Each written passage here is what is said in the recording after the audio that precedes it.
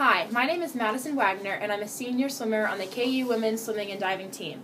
I'm so excited to be able to share with you our experience over the next few days for our winter training trip. I hope you're ready. It's going to be a lot of fun. All right, so it's uh, Friday morning, and we're going to have our first morning practice. We're just waiting for UCLA to clear the pool. Our team is getting ready, putting caps on. How are you doing this morning, Rebecca? You want to talk a little bit? Great. We're Yeah. It's, but it's gonna be good once we're in the water because the water will be warmer, and Yes. we're all really excited to be swimming outside. Yes, everyone loves to swim outside. How you guys doing? Doing good. We're just getting ready to get in the pool. It's a little chilly. Yep, just trying to warm up. It's okay. I'm ready. Get, get your tan on.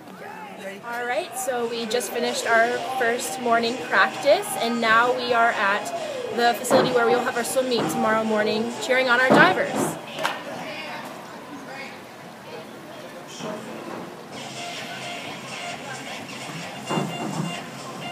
Now waiting for the bus to head to Westwood to get a bite to eat.